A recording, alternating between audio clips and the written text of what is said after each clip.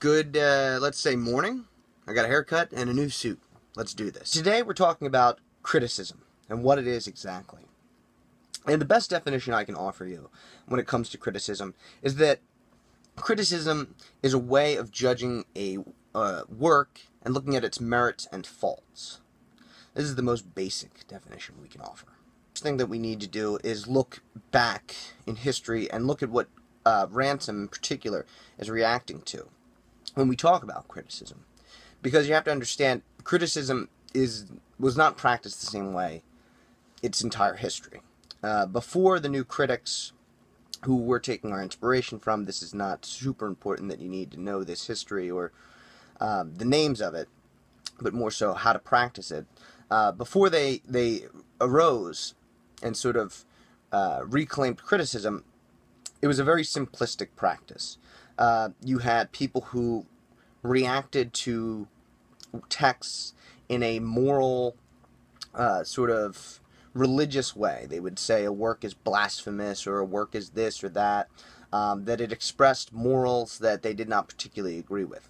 A lot of times, those people were basing their reactions off very little evidence. This is something we not, do not want to do. And the other side of the, the, the sort of more scientific approach at the time was to take uh, the history of the author. Right, the author was all important. So what they would do is they would say, okay, we have here is the history of the author. This is the things that that person has done in their life, and here is the text. I like my. Do you like my hands here? All right. So the text had to match the history of the author. That's how they did criticism. And that was basically all you needed to do. You said, here's this thing that happened in the author's life. Here's this thing that's similar in the text. We can match those two things up, and that's all we really need. Well, when you think about criticism in that way, it's very simplistic. It doesn't really offer a lot of interpretation. It almost is to the point where there is one specific answer, right? And when we're discussing literature, literature is subjective, right? There is no one specific answer. So, Ransom and the new critics are moving away from that approach. They're saying, we don't like this idea that there is only one answer. There are multitudes of answers, right? And we can sort of mine a text, look at a text, and discover them in exciting ways that weren't being practiced. So Ransom's approach is to make criticism more scientific. And you'll see that when you read, if you haven't already, Criticism Inc. Now, he sort of says uh, there are three people who should be qualified uh, to discuss literature, discuss art. He says there's first the, the critic himself or herself, but oftentimes, as we, we just mentioned, the critic really has a hard time uh, being objective, right? They're mostly subjective people. The next person that should be uh, a master of criticism is the artist, him or herself. But oftentimes, the artist or is really unsure what makes great art. They don't have an objective set of criteria that they can use to sort of pull meaning out of a text. And our last person, and probably the one that should know the best, but oftentimes doesn't, is the professor. Right? And Ransom says the professor is just offering complete garbage when it comes to criticism. So those are our typical critics and who we expect to be good at it. And he says that really none of them are. And there's a reason for that. It's not just one reason, but a multitude of reasons for uh, what people are doing with criticism. And he outlines a list in his article that he believes are things that are not criticism. And we're going to use them as well to be our guide to get us started. So the first in his list is personal registrations, right? Typically, this is where most of us start. We say when we watch a film that we liked it, right? If you ask us why we liked it, we say because it was exciting, because it made us cry, because it made us, you know, happy or laugh. These criticisms are not criticism. They're very simplistic. There is no real logic behind them. There's no if we want to use Ransom's term, no science. What are the criteria you're using that makes you say it made me happy or made me sad? This is a very simplistic uh, sort of mode of criticism, and this is the th- type of thing we need to start wor- working away from. Uh, sort of leave that stuff behind. Uh, our first instinct is a good one. We should sort of say, you know, if we watch a movie and we like it, yes, you know, we're pro- there's pro- there are reasons why, and we need to find out what those reasons are. Uh, number two in Ransom's list is, as he puts it, uh, I think he, it's somewhat sexist remark. He says women's book club type criticism, which is paraphrase and summary. Right? This is a horrible way to do criticism, and I think it's what a lot of undergraduates end up doing in their papers uh, because they really don't know what else to do, right? That's it's because of ignorance, which is fine. That happens. Our goal is to move toward enlightenment and away from ignorance. So, what people will do is they'll say, well, here are the events of this story, or here's what this poem says, more or less, right, in terms of the actual things happening. And they don't offer any interpretive type of supposed criticism that Ransom singles out is linguistic studies. Uh, this is a little bit what we're doing, a little bit not what we're doing, uh, but just keep it in the back of your mind. Uh, when we talk about when he talks about linguistic studies, he's talking more about semantics, about arguments over what one particular word means, which is not really our goal. When we do close reading, I think this we have have to preface this with it. We're looking at the string of words, the phrases, the sentences, how those things combine to create meaning. That's the thing we're debating over, not the, the meaning of an individual word. So keep that in mind. Uh, Ransom's next example of what is not criticism is moral studies. And what he means by that is uh, sort of that old style of criticism I talked about already. When we talk about a text, we talk about a poem, sometimes they're going to uh, espouse a, a idea or a philosophy we may not agree with, right? Uh, if you watch a movie like The Dark Knight, for example, I'm sure most of you have seen it. There's some very serious questions that movie raises. I know it just seems like a typical Batman movie, but really that movie is about much more. It's about America post 9 11. And in that movie, there are a lot of moral quandaries for Batman. He has to make decisions that don't always seem black and white. They're not clear cut, right? If you look at that movie, and we'll just sort of do a quick analysis so that you understand what I'm talking about. Uh, there are a lot of things in it that are shot in a way to suggest or, or remind us of our memories of 9 11. Think about after Rachel dies and Batman is standing on the rubble of the building. That is shot in a very specific way to remind us of the firefighters and the people, uh, the first responders who were at ground zero and had to deal with that tragedy, right? Who had to recover the bodies and all of that. And there are a lot of things in Batman uh, in Dark Knight that are reminiscent of our modern day problems with terrorism, right? The Joker isn't a supervillain, he is a terrorist, right? He's got a philosophy. It's anarchy, it's different than the terrorism we fight today, but it's a very similar situation. And Batman had to make hard decisions.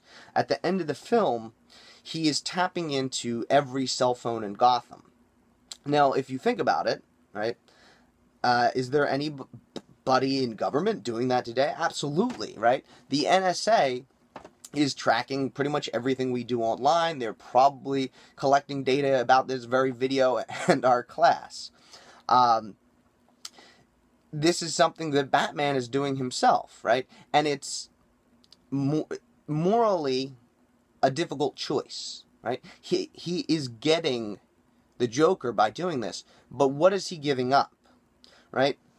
And some people, now depending on what your interpretation of those events are, uh, may say that Bat, uh, The Dark Knight is a very conservative film, that it support supported at the time uh, the Bush administration's efforts on the war on terror, blah blah blah. If you're if you're liberal, you might say it's the opposite, that it's uh, saying that that's bad, blah blah blah. Uh, but it's really up to you on that choice. What is that film trying to say, right? And I think people will be quick to dismiss something because it expresses a philosophy they don't agree with. If you're a liberal and you hear that conservative side, you're going to disagree with it. Well, it doesn't necessarily make the work bad, right? It's we can quibble over that definition or that interpretation, that that meaning.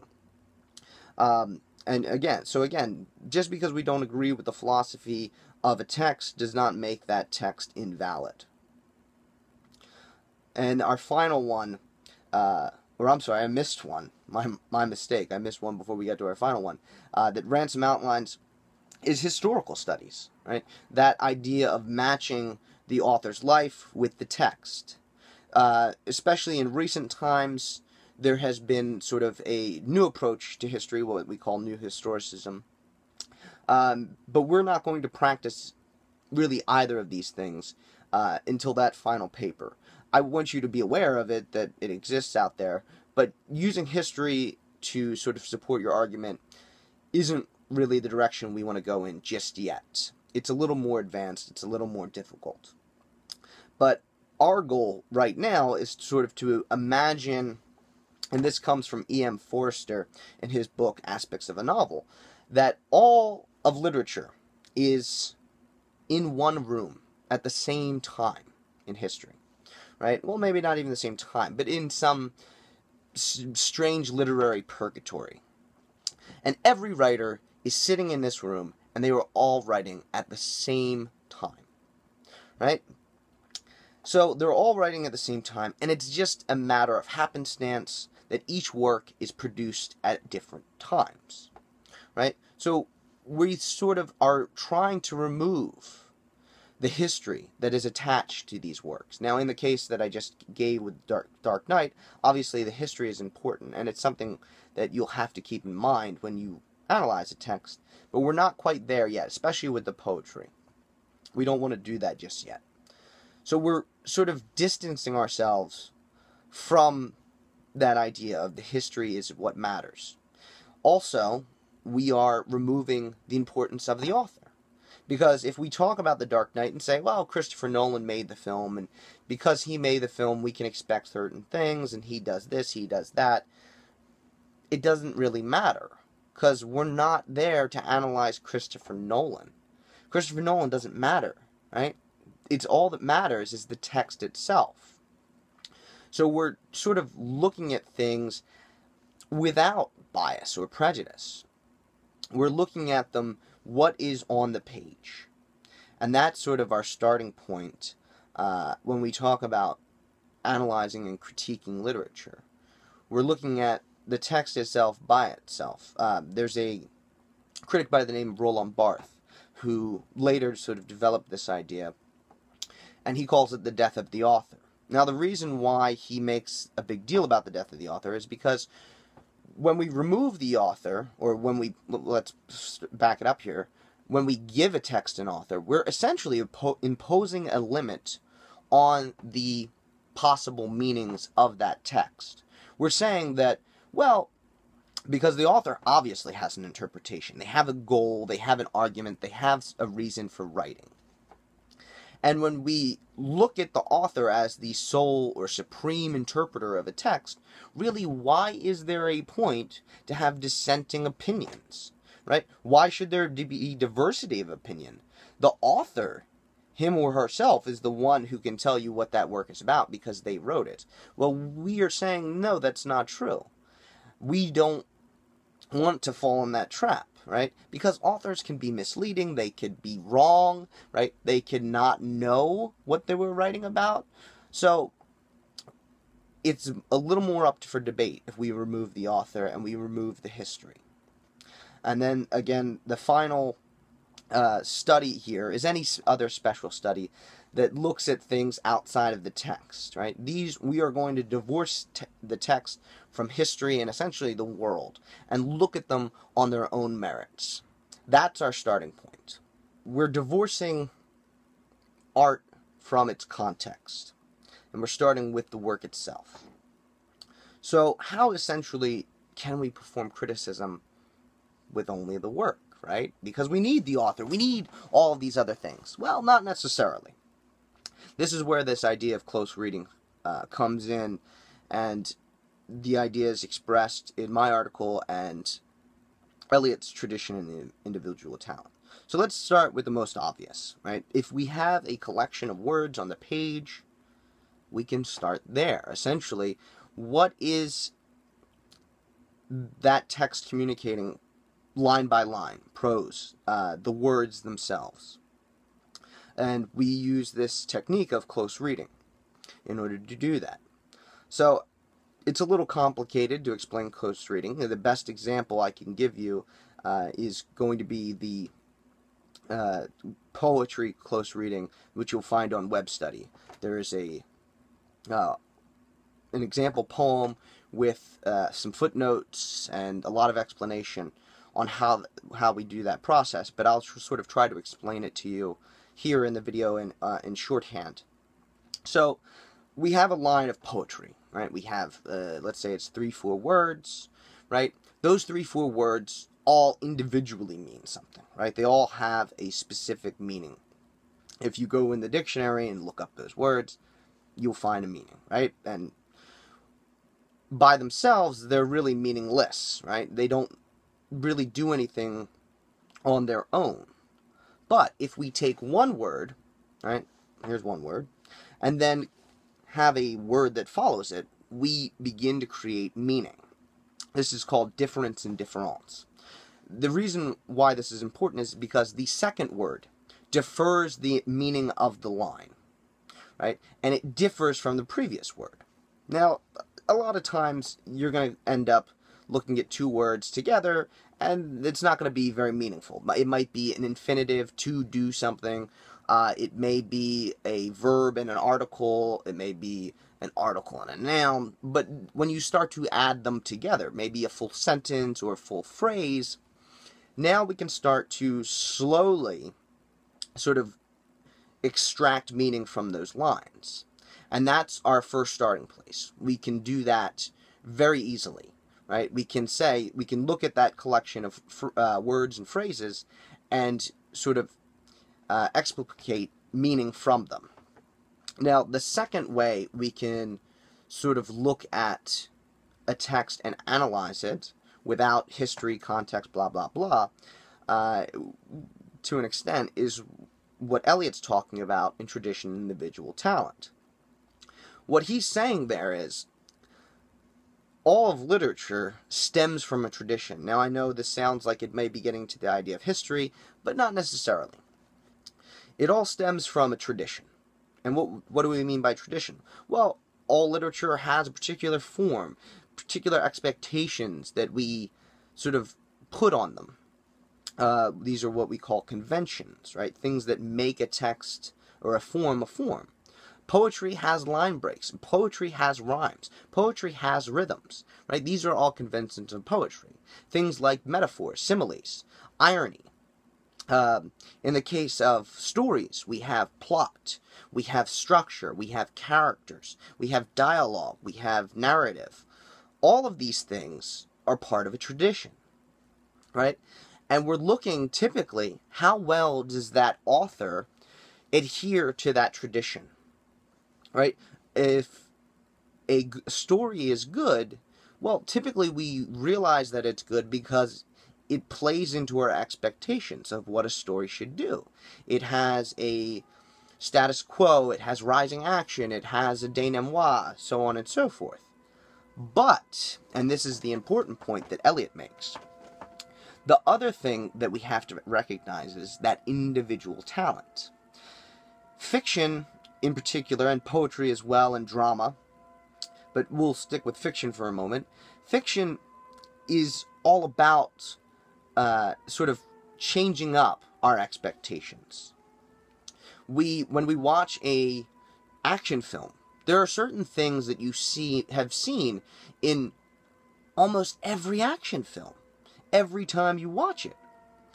Uh, there's a fire apparently. Uh, I don't. I just want to point that out if that's coming in on the video. But every time you watch an action film, you see the same events, right? Maybe the there's a scene where the hero's girlfriend is captured, right, and he has to go to save her, or you know, there's these little situations that creep up again and again, right? And you recognize them. There are lines that are almost verbatim in all these different movies in these same situations. Things like that, right? This is the part of the tradition that Eliot is saying we have to get away from. We don't want to do everything the same as the people before us. We have to play with the form in some way. And that's sort of his definition of what makes great art. It's adhering to the tradition and revolting against it all at the same time. Um, so those are our ways of looking at a text and sort of what we're left with. This is where you're starting from in your uh, forum posts. This is where you're going to want to start sort of coming up with that criteria. That's pretty much it for this week. Make sure you read all of the readings, uh, the article by me, Ransom, T.S. Eliot, and the short piece on uh, close reading to sort of get you thinking about this. Um, and take your time and really think about the question being asked on how do we do criticism when we sort of remove all the things that we are used to doing when we talk about criticism. Um, you may want to give some examples of what would that what that would look like or how you would do it. Um, be specific on what criteria. You know, you may even want to do it in list form uh, of what things make good art good art. Because this is going to be your guide, especially for your papers, um, and hopefully we'll sort of see your knowledge and your ability expand over the course of the semester. So keep up with the readings uh, do your forum posts, and until next time, peace.